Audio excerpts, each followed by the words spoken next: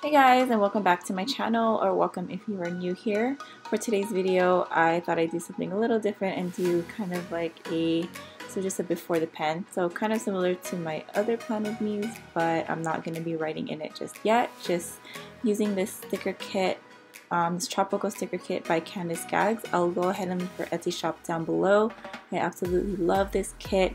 It's filled with a lot of cute and functional stickers, which I love.